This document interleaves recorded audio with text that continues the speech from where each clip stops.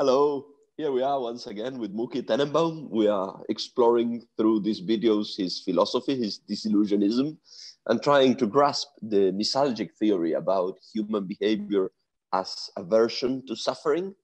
And as many of you already know, week after week with this exercise, we've been trying to illustrate the concepts in the philosophy to apply some of these abstract ideas to everyday life, to events as they transpire. And we are now already in February 2022, very much amidst the COVID 19 pandemic still.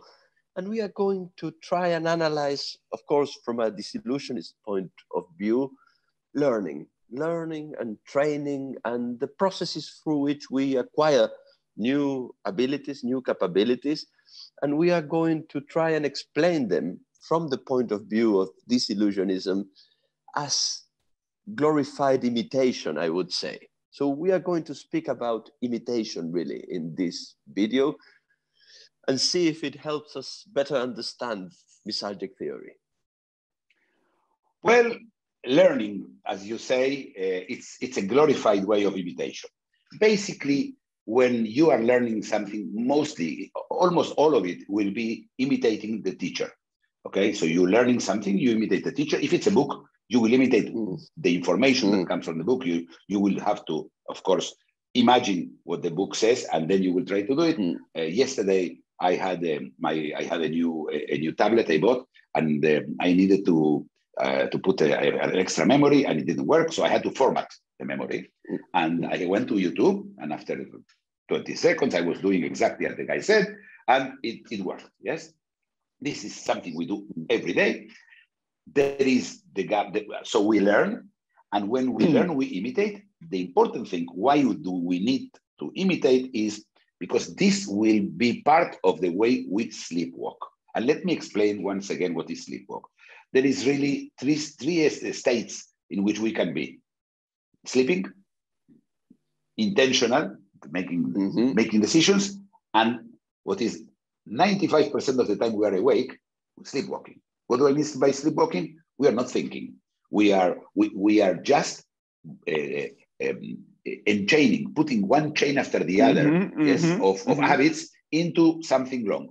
In this case, it's a very good uh, uh, a very good idea. If I learn, if I'm learning taekwondo or another martial art, I have to imitate. But imitate is not enough because I need it to be part of the sleepwalking. I cannot be thinking about it. The whole idea of learning is not to think about it, but this will come automatic. So when I say to you, what is five times seven? You will say 35 without thinking about it. It will be the, even the music. Yes. You know, when we learn in, in Argentina, we used to learn, I don't know if in the States was the same, but we used to learn the, the, the multiplication uh, mm. tables. Yes, that's, uh, mm-hmm. and, and it wasn't almost, almost as a song. Yes, because mm. it has to be automatic. Everything has to be automatic. So we can sleepwalk because when we sleepwalk and when we sleep, we don't suffer. And that's a great, the great thing about it. You don't suffer, but we are not aware of what's happening. Yes, uh, it's not that we are sleeping. It's not that we are we have lost consciousness. It's the, the awareness, the, the one that brings in the intention.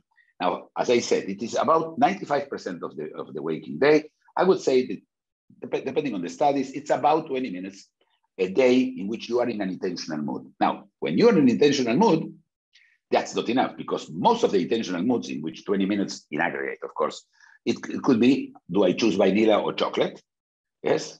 Uh, or do I choose to take the bus or the train home today? Mm-hmm. Mm-hmm. This is the this is most of my, our decision. Only at those moments we are open for suffering. So the most important thing is to be as little awake as possible. So and, and, and that is not even a decision. That we do it automatically. Why? Because what we do is misalgia, averting suffering.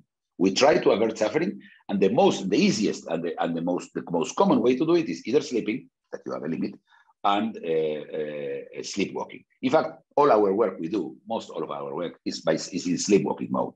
It's not in an intentional mode. Even if you're an astronaut or, or a window or a high-rise window cleaner, it doesn't matter. You are always sleepwalking. That's the idea. So why am I, I am I saying that?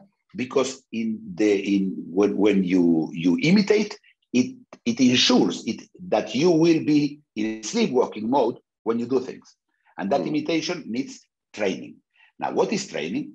In, in imitation, regular imitation, I'm imitating a, a, another person or, an, or, or, or, or, or, a group of persons, doesn't matter. But when I'm training, I am imitating myself.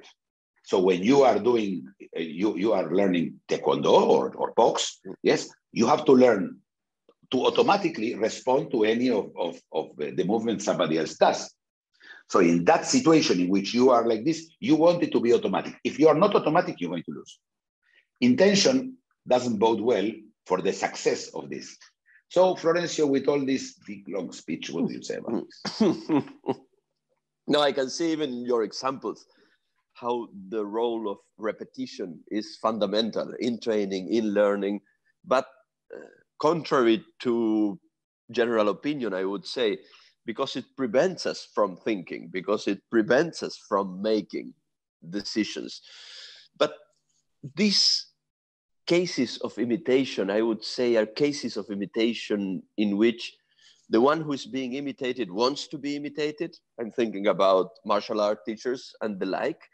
And these are cases in which suffering is alleviated or avoided, averted through imitation.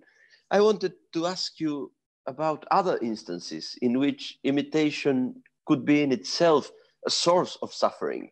As when we imitate other ones who don't want to be imitated, we copy other ones who would rather not be copied, and we insult them that way, we mock them that way, or even we, we steal from them because we learn from them procedures they wouldn't want us to learn. So I wanted to ask you about the dark side of imitation, as it were. Well, it's very interesting because there is a, whole line. You can imitate somebody that wants to be imitated, very much mm-hmm. so, teacher. In fact, you pay mm-hmm. them so they will they will they will teach you. Teaching means that means mm-hmm. I'm interested in that. Then you have the influencers, okay, in which they they want to be imitated. They are not your teachers, but they want to be mm-hmm. imitated. And then you start going into the area in which you imitate something that is totally neutral. Yes, somebody some, somebody's uh, way of uh, dealing with uh, with with repairing something at home. Hmm. At that part, I need to imitate because I have no idea how to how to solve most of my, my home my home problems. But the, the idea of imitation there is neutral. Then then you also have the mocking. Mocking is imitating somebody to waking up to wake him up from uh, sleepwalking, not in an altruistic, way, mind mm-hmm. but in a way to, to make the other one suffering. So you are making somebody else suffering, and both sides, the mocker and the mock, the mockee, the one who is being who is being mocked, both of them are in an intentional mode. Yes, but remember, sometimes we mock. We, we sometimes the, the person being mocked thinks that I am mocking, and maybe I'm not. I'm just thinking about something else. Now, you are doing it like this because you want to, to, to, uh, to laugh at me. And here there is a whole issue that we are not dealing in this video about offense and about, mm. uh, about uh, you, you, know, or, or the, the, the, whole idea of, of um, uh, uh, how, how I, how I would say, making somebody else suffering with just words. Yes, mm. this, the, mm. using words or, or gestures as a way to make mm. somebody else suffering. This is, and in this case, well, they don't want to be imitated. So here you have a whole the, the whole uh, uh, horizon of imitation. Mm-hmm. Yes. Mm-hmm. Um, let me remind you one thing more. That's very important. From our side, when we imitate, we are saving energy, and as any mm. other animal, we will we are programmed to save as much energy as possible. So when we are in an intentional mode, Florencio, we think uh, we, we, we are uh, we're using 10 times more energy in our brain than when we're sleepwalking. So when we imitate, we just are saving 90% of energy. That's a lot. Talking of taking account that 20% of all our energy needs are used by, uh, by our brain. So I, I would say that uh, that this this, but then you also have illegal imitation. Mm.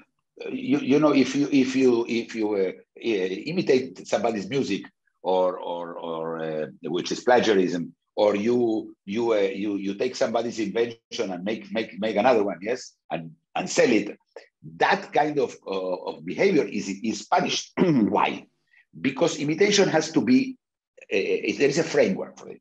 So there is a mm. framework in school that's one way of imitating. There is a framework in, in your daily life from your parents, from your family, from your friends, or from influencers. And then there is the framework that limit puts limits to it. It's it's like it's like a framing in which you cannot imitate other people's intellectual property. Something we spoke about many, many a few months ago about the value of the intellectual property. So, what do you think about that, Florencio? It's uh, we, we are almost out of time already, but following on this thread, I wanted to ask you about uh, originality and the value of originals as opposed to copies. Because my guess is in our societies, there is also a whole epic surrounding original behavior, original stuff, original creations, and creativity as such is being touted as, I would say, the most relevant, the most important aspect of human life in our days, it, it was not always so, but th- there is a part of this story that has to do with that, I think. Well, you in a conversation we had about this issue a few a few weeks ago, you told me that uh, uh, until the 17th century, creativity was frowned upon. Nobody liked creativity. You are supposed, if you were a good a good artist, you should imitate the best, the, the, the ones before you. And that happens till the, the, the 17th century. I guess that until uh, also uh, people start knowing about each other, I mean, the, the world became mm. much, much, much closer with that, uh, you know, when appears all, uh, all kind of um, uh, uh, technological advances like the telegraph and, the, and on, of course, everything that has to do with, with the printing press. So mm. that changed a lot. But since then, we had a, a time in which originality and imitation shared, shared the, the space. But mm. now, now creativity is the most. In fact, one of the interesting things about creativity is it cannot be imitated. You can imitate the result of creativity, mm-hmm. but you cannot mm-hmm. imitate creativity. That means mm-hmm. this is an ability, and that ability now is recognized. And sometimes is useful, and sometimes it's nothing. Mm-hmm. In art, it is it is very common, and sometimes it's it's in, in economy. Sometimes it's in, in an economical. Uh, I'm sorry, in a in, in a way the markets behave.